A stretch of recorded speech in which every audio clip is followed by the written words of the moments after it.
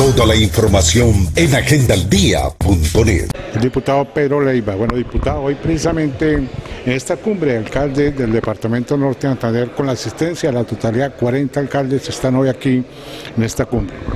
Bueno, de verdad que muy complacidos porque todos los alcaldes del departamento de Norte de Santander acudieron al llamado del señor gobernador y pues vemos que este plan de desarrollo que ya se aprobó para estos próximos cuatro años, de la mano de cada uno de los alcaldes va a ser realidad y vamos a poder obtener ese norte productivo para todos que de la mano de William Villamizar estamos trabajando. Diputado, tengo que aprovechar el momento, usted de la provincia del Catatumbo. Eh, la situación que ha presentado gracias a Dios soltaron, liberaron a los tres eh, colegas periodistas. Pero desde el punto de vista usted como cañero de esta zona, ¿cómo la ve? Bueno, la verdad que la situación del Catatumbo es muy preocupante. Nosotros, eh, oriundos de esta región, de verdad, le pedimos encarecidamente al gobierno nacional de que nos ayude llevando soluciones reales. El problema con el Catatumbo ha sido que se han vivido promesas incumplidas. Nosotros tenemos una región muy productiva, tenemos una región de gente buena, de gente que quiere trabajar, que quiere una oportunidad y necesitamos que la política pública esté enfocada a desarrollar esas problemáticas que hoy se tienen en el Catatumbo. Yo pienso que si vamos a tener la firma de un proceso de paz, necesitamos asegurar inversión para esta región. Necesitamos que se materialice todas las promesas que se han hecho desde hace muchos años y que hoy han sido inconclusas y que no se han, no se han tenido resueltas por parte del gobierno nacional. Necesitamos que la, la cara con la que se vea el Catatumbo sea una cara propositiva, sea una cara con la que se llegue con cosas concretas y eso es lo que los campesinos, los que los habitantes del Catatumbo hoy están pidiendo y hoy están viendo de que sea una realidad. Bueno, uno escucha y hay pronunciamiento del gobierno nacional de ayudas y ayudas al Catatumbo. ¿Esto parece que no es real?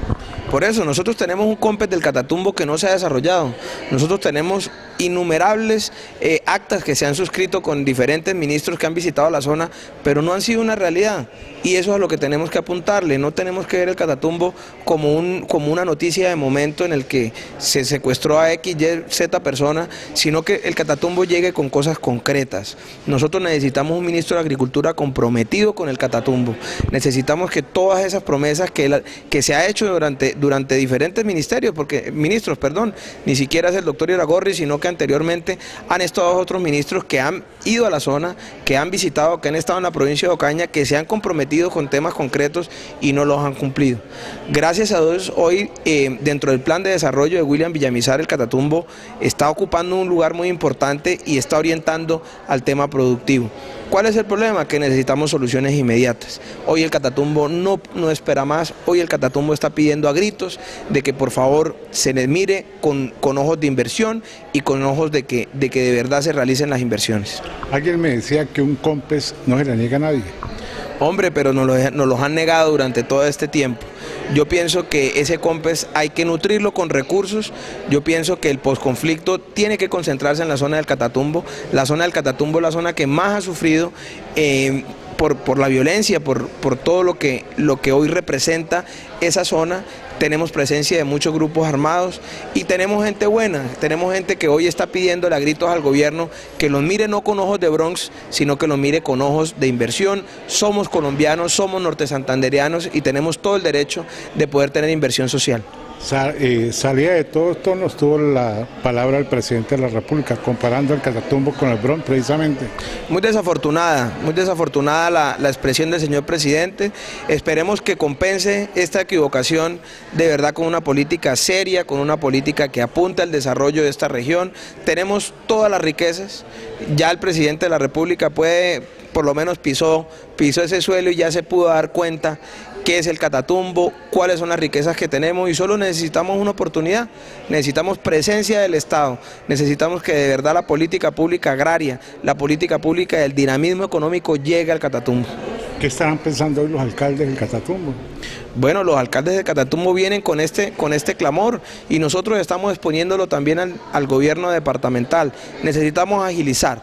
Ya hoy tenemos un plan de desarrollo que es la ruta, que es la guía de la ejecución del presupuesto. Necesitamos materializarlo en proyectos y que esos proyectos lleguen a, la, a las comunidades más necesitadas, porque en el Catatumbo hay ya unos gremios constituidos, hay unos, unos cultivos con los cuales se puede reemplazar la hoja de coca y necesitamos es trabajar de la mano con la administración departamental y el gobierno nacional. Como diputado no le puedo dejar de preguntar por la asamblea, ¿cómo va? Bueno, la verdad que mañana vamos a, reiniciar nuestras, nuestro periodo ordinario en la Asamblea del Departamento. Tenemos varias iniciativas del orden del gobierno que quiere ponernos a consideración. Eh, hay varias también iniciativas de algunos diputados.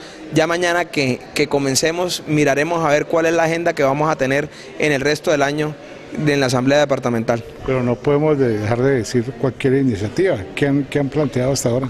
Bueno, estamos mirando a ver si se puede poner a consideración un crédito por parte de la Administración eh, departamental, necesitamos recursos.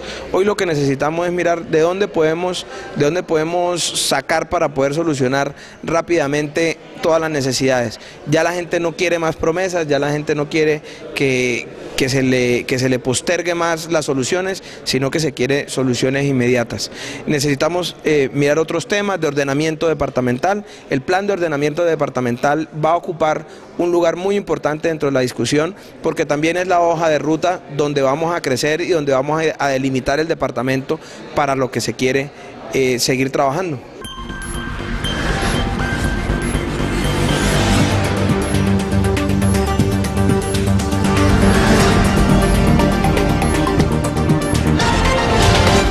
Toda la información en agendaldía.net.